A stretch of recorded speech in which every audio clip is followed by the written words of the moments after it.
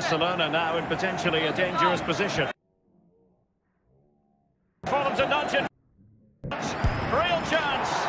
And a goal to give them the lead. They have their reward. Well, you could be critical of the defending, but let's focus on the great play. It's off with a superb, calm, calculated finish.